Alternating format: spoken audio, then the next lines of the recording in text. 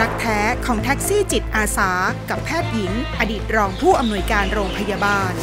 ลงมานะอะลุกขึ้นนั่งครับคือถ้าศีลไม่เสมอกันมันก็ไปด้วยกันไม่ได้ แต่เมื่อมาเจอคนที่ศีลเสมอกันแล้วเนี่ยคิดเหมือนกันทำเหมือนกันให้คนอื่นได้เหมือนกัน มันก็ไปด้วยกันได้ดี เขาและเธอจับมือพิสูจน์รักแท้ ด้วยหัวใจอาสา โชคดีของเราที่ตัดสินใจแล้วก็มาเจอคนที่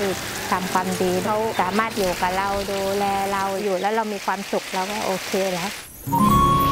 คู่แท้พรหมลิขิต ชีวิตจริงยิ่งกว่าละคร อังคารที่ 25 มิถุนายนนี้ 2 ทุ่ม 40 นาที ทางไทย PBS